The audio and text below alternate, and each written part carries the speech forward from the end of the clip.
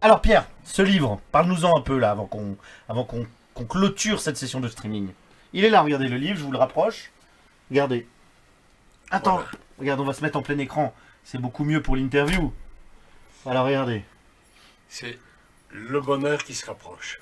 Voilà, c'est le bonheur qui se rapproche.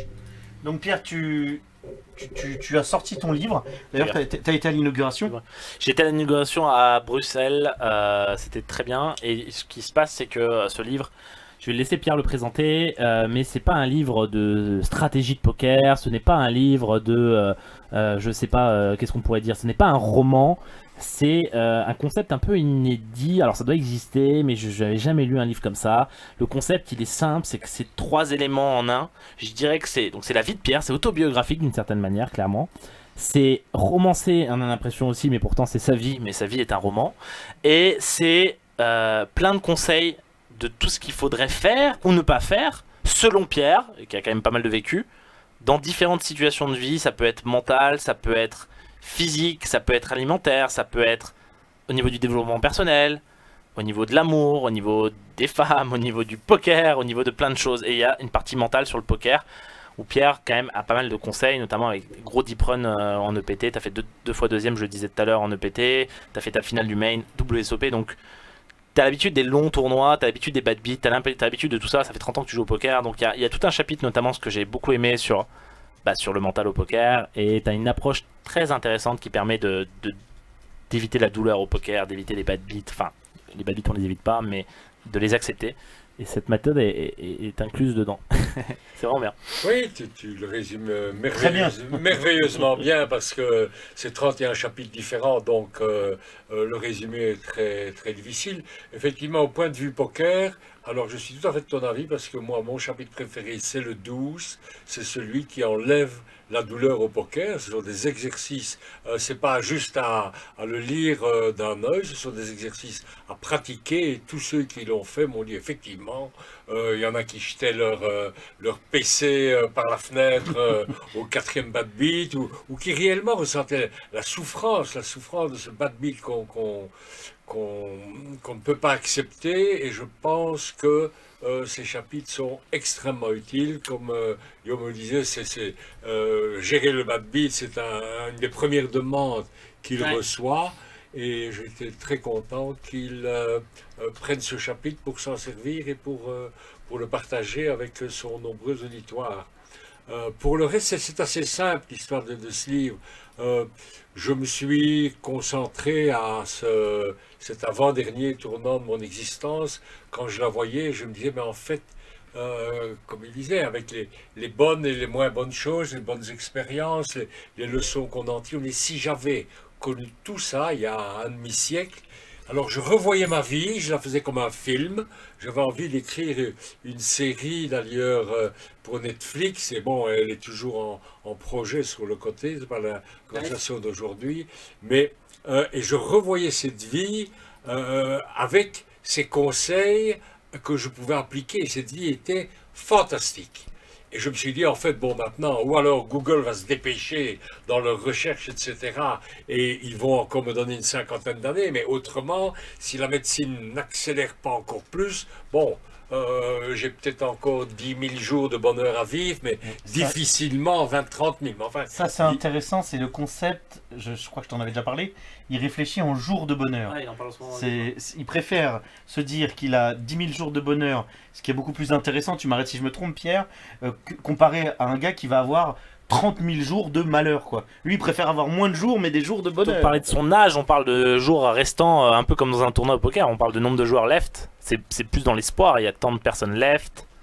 Et voilà, t'as tant de jours left, euh, mais dans de bonheur left en plus. Ouais. C'est-à-dire, quand, quand on a fait le test de lecture, moi je pensais que c'était les chapitres où, bon, euh, je raconte mes aventures à Hollywood, chez Kevin Costner, euh, quand eh ben, il faisait la cour à mon épouse, alors il, il me lâchait plus parce que Kevin, il est comme ça, euh, tout ce qui passe. euh, Enfin bref, euh, on va pas entrer dans les détails, mais je pensais que d'autres chapitres où euh, mon ex-patron, le chairman américain, de, voulait absolument me sauter parce que bon, il était gay et moi j'étais, ça me posait un petit problème. Ça c'est un chapitre aussi que, que j'ai adoré en essayant d'aller jusqu'au bout de, faire presque mon coming out, comme disent les Américains, mais enfin, une confession live, au bout. Mm. c'est assez intéressant de, de la partager, des, des- des vraies expériences de vie. Mais à part ça, euh, l'âge, pour nous, mais il n'a aucune espèce d'importance. Alors, euh, ouv- ouvrez votre journal. Vous avez un journal près de vous, vous ouvrez la page des faits divers, et vous allez voir, on vous met une femme de 43 ans retrouvée morte dans le canal. Bien sûr. Mais qu'est-ce qu'on s'en fout qu'elle a 43 ans hein Ouais, Et vrai. c'est le titre. Hein et puis un homme de 57 ans tue ses quatre enfants, euh, qu'il ait 57 ans ou pas, ça ne change rien.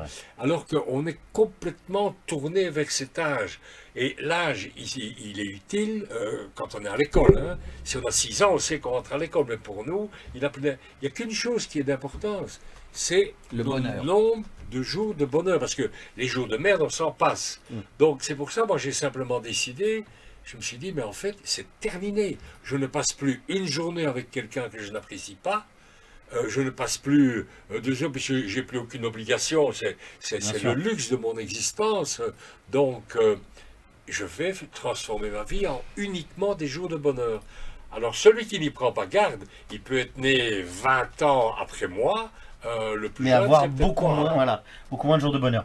Je vais recentrer sur quelque chose qui m'intéresse euh, parce que tu as soulevé un point euh, il y a 5 minutes dans cette interview qui, qui m'a intéressé. Pierre, à une époque, tu, tu- tu jouais beaucoup online. Tu as beaucoup joué online. Oui, j'ai joué en- énormément online. J'ai joué online tous les jours jusqu'en 2015. Et Eh. Euh, j'ai fait une longue carrière chez PokerStar. J'ai été le seul membre du team, euh, Belge. euh, du team PokerStar qui a été engagé trois fois. Parce que généralement, quand on met un membre du team PokerStar dehors, il est mis dehors. Et moi, ils ont pu me mettre dehors euh, et m'engager trois fois parce que chaque fois, ils sont venus me rechercher. Donc, euh, euh, yo, Oui, c'est le plus vieux des poneys. T'es un poney T'es un, poney Un poney Et dédicace à, Eh, la- dédicace, à Roger Roger. qui est là, je l'ai vu, je l'ai vu écrire dans le chat. Merci Roger de nous suivre en tout cas.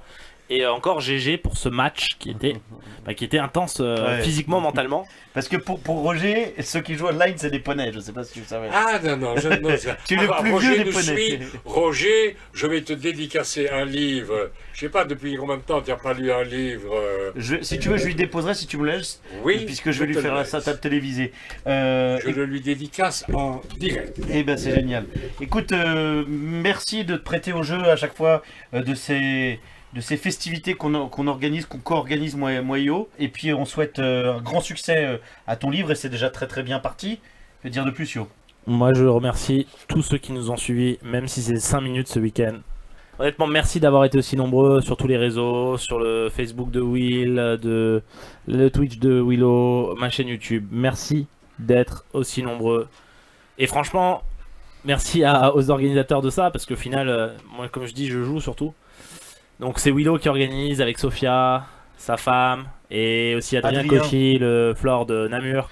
On peut, aussi euh, féliciter Mich et Greg et Cyril et tous les et tous les, et croupiers, les croupiers. et bravo à tous les croupiers qui ont pas beaucoup dormi et bravo à tous les croupiers français qui font un travail d'exception ils Et sont beaucoup en EPT et d'ailleurs Franck évidemment. et Franck qui a fait un, un gros travail d'assistance ici euh, sur tout le, le le live merci à Nikita Bellucci de nous euh, de nous De nous frotter régaler, de nous de régaler. Cette femme? Si tu la connais allez Oui, oui, oui. oui, Ah. Nikita. oui. Nikita Ah, bah voilà, ma meuf. Poker Pro, c'est rigole pas ma meuf c'est pas ma meuf putain c'est pas Je suis sûr Franck que C'est pas ma meuf Eh ben la réponse, vous ne la saurez pas. Non, la réponse est non, elle a un copain depuis des années, euh, elle est très sérieuse. Bon écoutez, Une petite information Allez, dis-nous, pour ne dis-nous. pas recevoir 25 demandes après parce que. T'as baisé Nikita, c'est ça Euh, Mon livre n'est pas encore euh, En France dans les librairies. Mais Il n'est que sur Amazon. Mais quand il va arriver, effectivement, j'espère bien que dans la deuxième partie de l'année, il sera le best-seller du marché eh ben on génial. te le souhaite, et sur Amazon c'est livrable en France dès Ouais, maintenant. tout à fait. On vous remercie tous, merci, bye bye tout le monde, allez, bye bye. Ciao la famille, salut N'oubliez pas, on lâchera jamais ce putain de micro.